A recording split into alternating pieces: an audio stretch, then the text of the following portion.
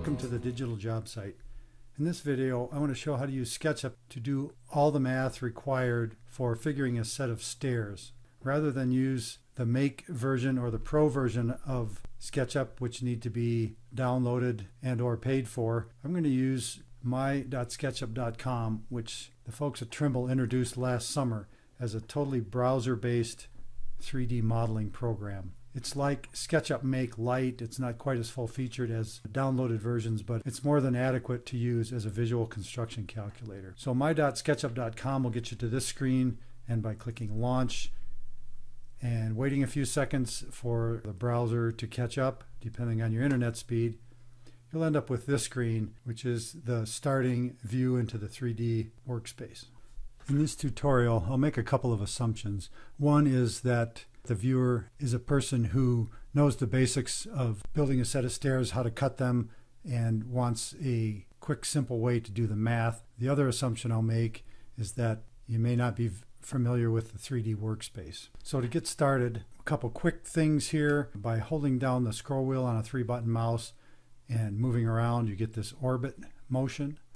By scrolling the wheel in and out, you'll get the zoom function. And by holding shift and the scroll wheel down, you'll get a pan function. I'll be using those movements to manipulate the 3D workspace.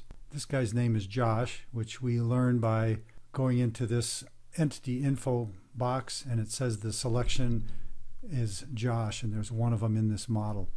And the first thing we'll do is move Josh out of the way a little bit by using this little four-way arrow which is the move tool and if I hover the move tool over this red line and move this way, Josh moves back and forth in a straight line left to right. So we'll just move Josh over a few feet to the left and get him out of the space. And by clicking and hitting the space bar, you'll be able to deselect anything you've selected. I'm going to hide this for now with a click. And then for doing stair math, the main piece of information that's needed is the total rise of a flight of stairs. With a regular construction calculator or other methods, we take the total length and then divide it up to end up with the number of stairs so that the steps are not too tall or too short. Using SketchUp as a visual calculator, the process is the same, but it's approached a little differently. I'm going to go through these steps quickly here to show how simple this really is, and then we'll cover each step in more detail. So to do this, I'm just going to draw a line that's going straight up in the air, and I'll go 107 and 13 sixteenths. Then select the line, right click, divide and just slide this divider until I've got segments that are just under 8 inches. Take one of the segments, draw another line to represent 10 inch run. Take these two lines, move and copy them, which gives a complete set of stairs. This information shows that the rise is 7 and 45 64ths. The run is 10 inches and the hypotenuse for this triangle is 12 and 5 eighths inches. And the angle of these stairs is about 37.6 degrees. And that's basically all the stair math that you need to calculate. Here it's shown visually versus as a string of numbers from a calculator that get written down. There's the run, the rise, and the hypotenuse are all simply calculated visually. So that's the caffeinated version of doing math for stairs with mysketchup.com. And now I'll go through those steps with a little more explanation and detail so that they're easier to understand. So what I'll do is take this pencil, which is the line tool, and I'm going to scroll in and zoom in so that my pencil hovers over this right line and I'm just going to slide along the right line here and click the mouse once and then I'll start drawing a line. And you can see the line bounces back and forth to different colors from black to blue to green and to red if you're drawing this way. And all that is showing you is which direction the line's being drawn. And because we want to draw a line going straight up I'm going to wait till the line turns blue and just drag up here a ways. If you notice in the box on the lower right the number changes based on the length of the line. Rather than trying to hit this line and try to scroll into a very accurate measurement. I'm just going to wait till the line turns blue and I'll click a second time and then I'm going to type in an arbitrary total rise height. And let's use an odd number to better show the capabilities of SketchUp. So I'm going to go 107 inches, hit the space bar, and then go 13 slash 16 to have 107 and 13 16ths inch total rise. Now when I hit enter, the software makes that line the length that I told it to. So I'll hit the space bar to get out of the line drawing tool. And to show what we have here, I'll click this line that we just drew. You can see it turns blue. It's a different color than this blue because it's, it's a selection.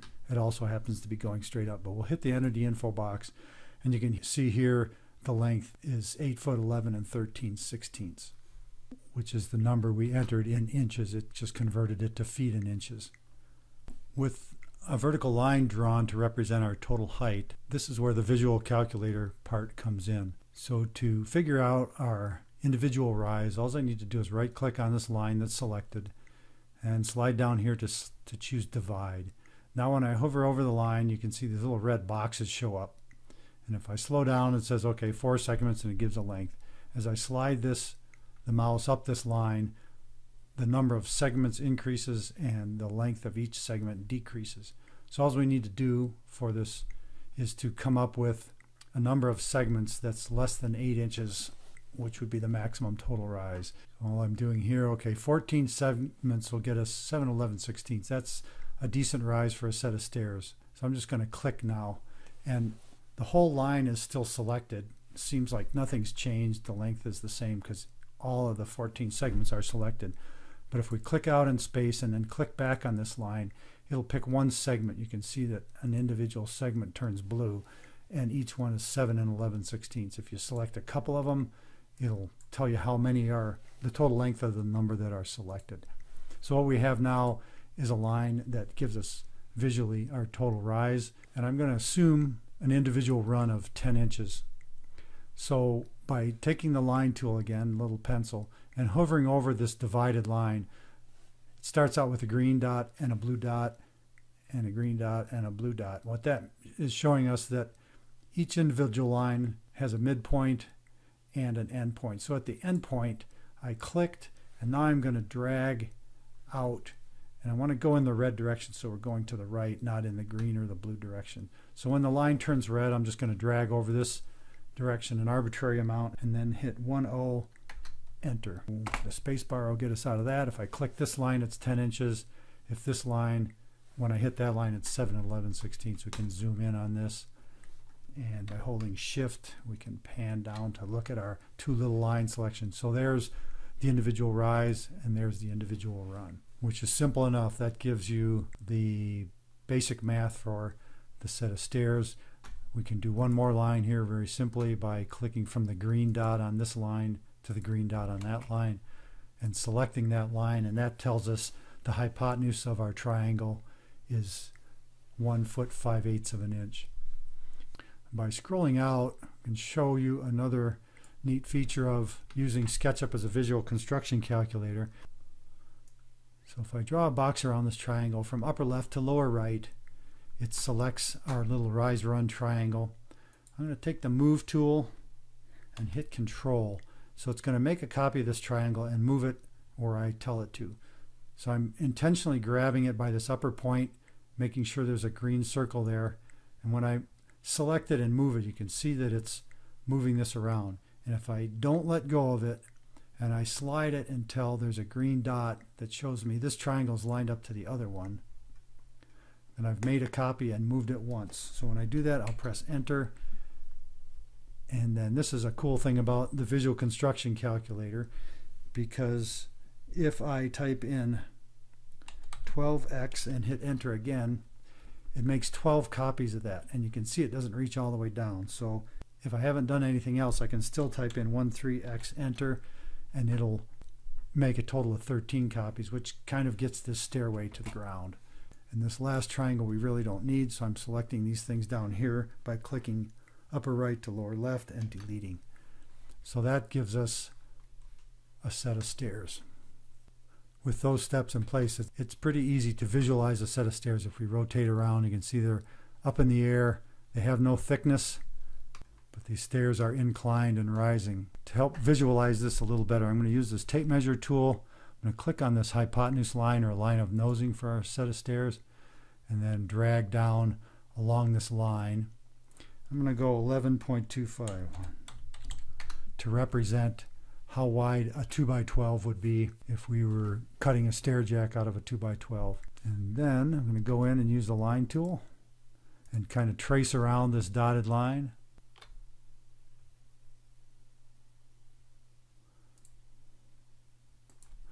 Now that creates a flat plane for our stairs.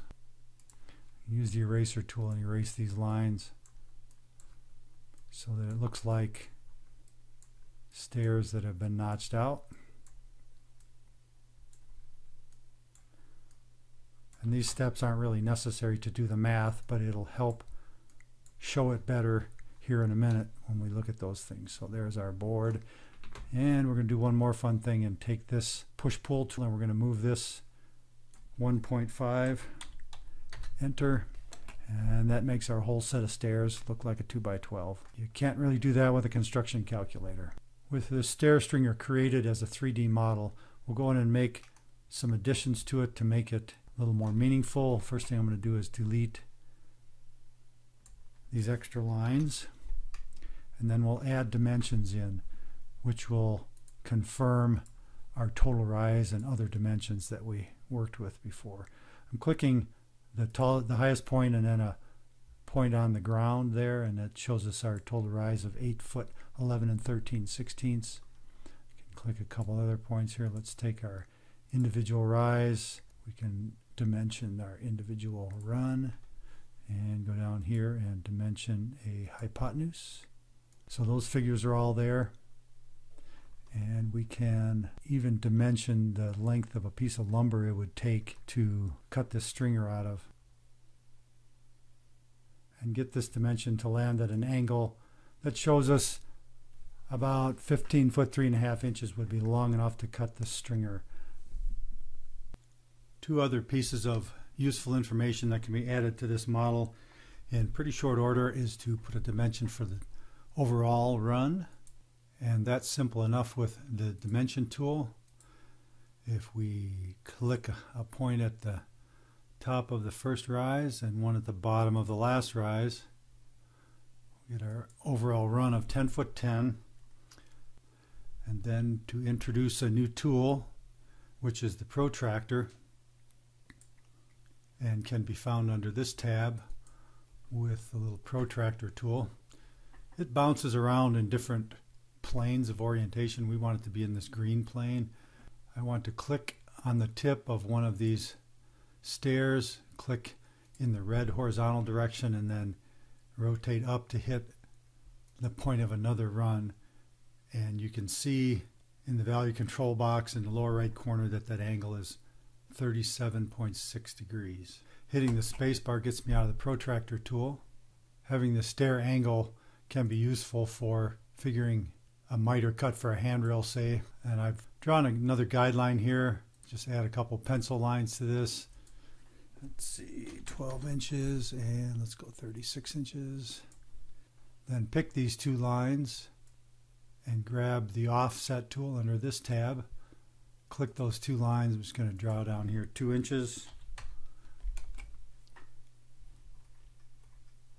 And zoom in and connect the ends.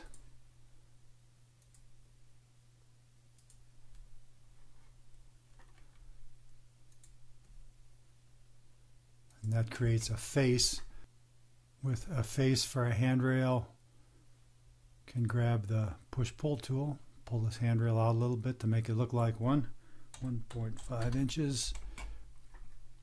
Then we can zoom in and figure the miter angle with the protractor tool by indexing it to this uh, intersection point in the green plane.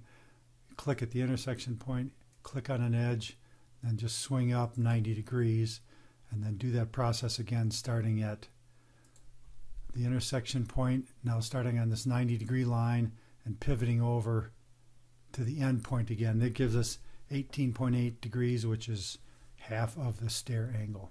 Kind of a handy feature to help visualize what's needed to build the stairway. There's quite a bit more information that can be pulled out of a SketchUp model like this, but I wanted to keep this video short as an introduction to my.sketchup.com, give some ideas about its potential use. I'll do a follow-up video that shows how this model can be enhanced and manipulated a bit to change up information when the total rise changes or a total run changes, if there was a winding stair, for instance, and that sort of thing. So I hope you found this introduction helpful, and we'll come back to view part two. And thanks for coming by the Digital Job Site.